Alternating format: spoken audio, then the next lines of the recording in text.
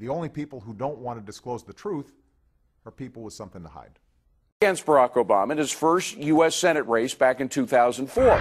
Former presidential candidate Alan Keyes, who joins us now. Alan, great to see you again. Thanks for coming in. So, are you persuaded at all by the evidence that's been presented so far?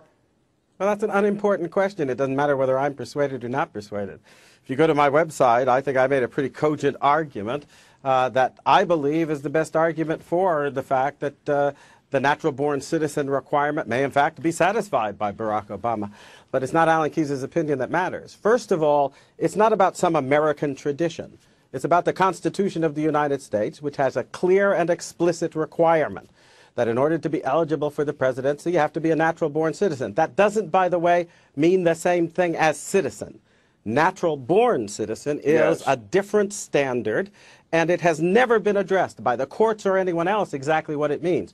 Now, an issue has come up. The birth certificate's only part of it.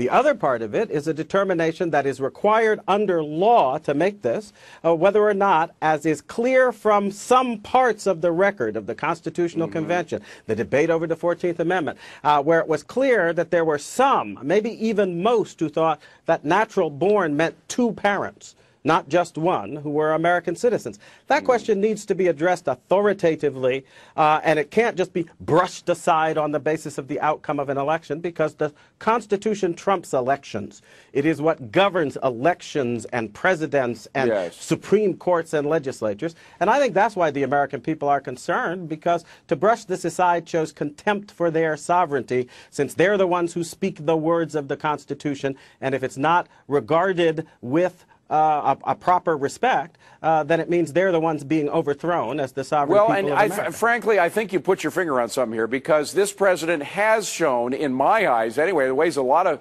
the eyes of a lot of folks out there, a lot of contempt for things that were established, not only in the Constitution itself, which is bad enough, but also in, in common law practices, uh, issues about private property, what he did with the GM bondholders, et cetera. So there are some serious issues. It leads to suspicions that if you violate some rules, you may violate other rules. However, there are some people who were were kind of stuck on the on the issue of whether or not he was born here in the United States, who have changed their mind based on evidence that's been presented recently. And this happened uh, with Michele Bachmann this morning. She was on ABC. Uh, let's just play the tape. I want to get your reaction to it, Al.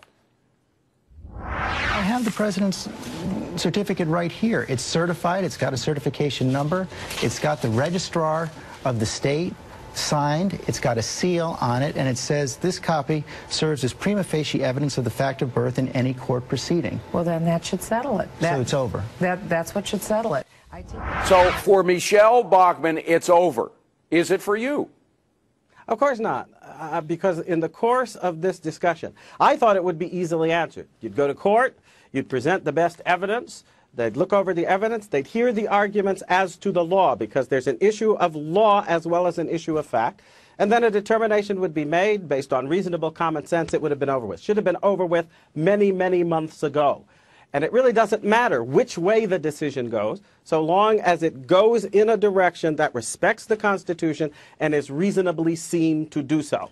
Instead, we've been dithering about, trying to pretend. People even sent out letters from the Congress uh, that said, well, the election decided it, therefore we don't have to look at this.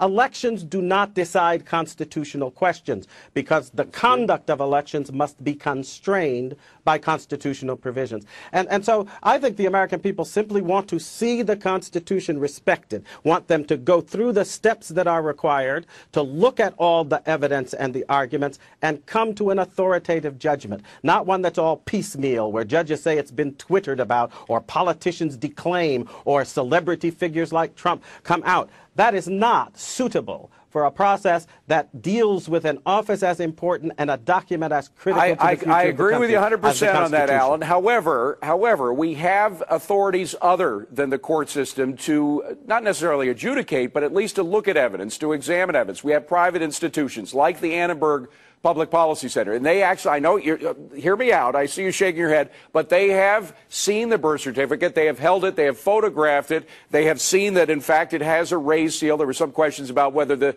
the actual seal of the state was, was real or not. They have authenticated in their minds that it's real, et cetera. They are basically, Annenberg uh, Center is basically a straight, straight arrow center. Uh, what do you I'm- think I'm of their sorry. evidence? Do you, do you put That- that- any faith in their evidence at all?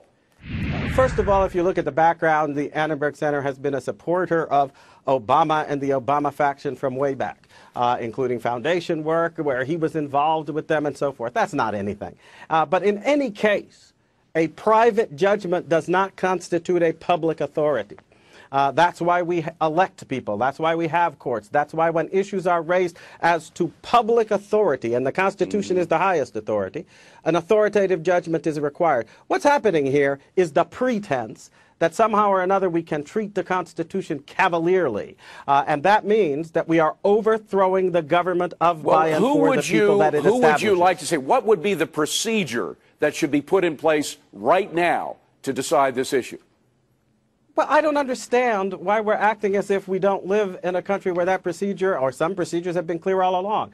When folks like myself went to court, the judges said, uh, you don't have, to some of them, not to me in particular, but you don't have standing.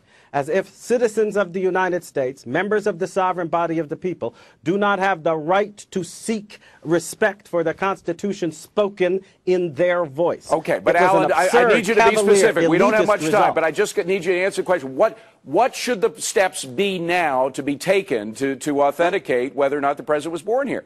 The first simple step would be through the usual process that we do it in the courts. Let the evidence be forthcoming. Let it be examined. Let the witnesses come forward, whether from the Annenberg Mm-hmm. Uh, uh, Foundation or wherever, and be cross examined so that Mm-hmm. you can test what they're talking about. That's the way we usually do it, not in this cavalier fashion as if talking heads and private foundations with partisan background are, are to- a substitute for the proper process, which includes an ability of people to come forward, ask questions through their lawyers and advocates. That's how we establish it in this country. By the way, not we- playing we- games like this. Uh, we, we, we are going to be talking in a moment with a panel about all this, but Donald Trump and what he is doing, he, of course, has private investigators he sent out uh, to look into any of this. Do you have any information at all about uh, more evidence that has been dug up either by, by him and his private investigators or by others?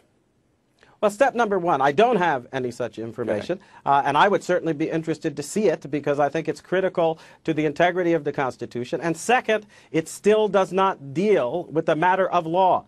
The issue of what constitutes a natural born citizen has never been addressed. This case actually puts it on the table, and it needs to be addressed for future generations so that this doesn't keep coming up. Alan, The only people who don't want to disclose the truth are people with something to hide.